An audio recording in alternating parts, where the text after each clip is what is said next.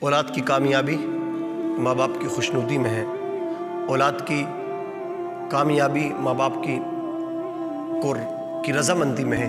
لہذا کبھی بھی کسی موڑ پر بھی ماں باپ کو ناراض نہ کیا جائے۔ میں ہاتھ جوڑ کے تمام نوجوانوں سے اپیل کروں گا، گزارش کروں گا۔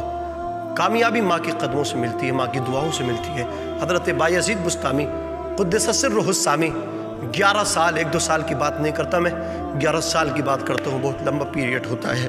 بڑی چینجنگ ہو جاتی ہے گیارہ سال کے اندر۔ آپ نکلے جنگلات میں، صحرا میں بیابا فوریسٹ میں۔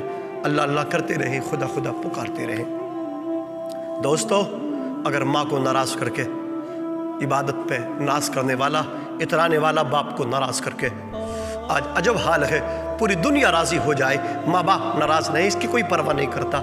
او اپنی نمازوں پہ اترانے والوں تیری ماں تجھ سے ناراض، تیرا باپ تجھ سے ناراض۔ تو میں کہتا ہوں، اگر کھانے کعبے کے سہن میں بھی تو اپنی پیشانی جا کے رکھ دے۔ اللہ اللہ کہتا رہے، خدا خدا کہتے ہوئے زندگی ختم کر دے۔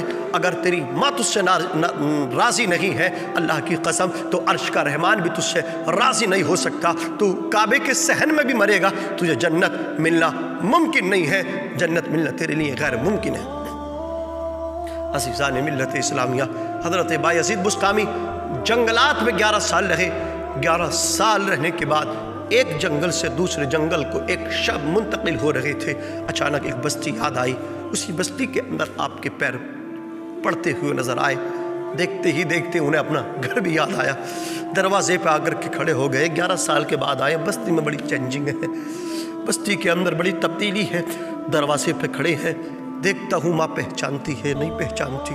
اس لیے کہ جنگلات میں گھاس کھائی تھی، جنگلات میں پتے چبائے تھے، جس وجہ سے ان کے یہ گال بھی ہرے ہو گئے تھے۔ داڑھی کے بال بھی لمبے ہو گئے تھے، سر کے بال بھی بڑے لمبے ہو گئے تھے۔ حضرت بائی عزید بستامی کھڑے رہے، انتظار کرتے رہے، اٹھاتا ہوں تو ماں کی نیند میں خلل ہو جائے گا۔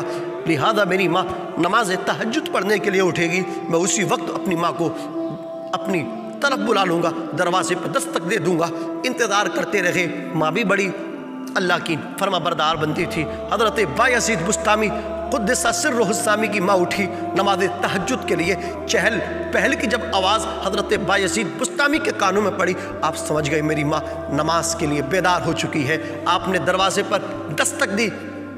آپ نے دروازے پر دستک دی۔ سوچ رہے ہیں، ماں پہچانے گی نہیں، گیارہ سال کے بعد آیا ہوں۔ اپنا انٹروڈکشن کراؤں گا، اپنا تعارف کراؤں گا۔ ابھی دروازہ ہلایا تھا۔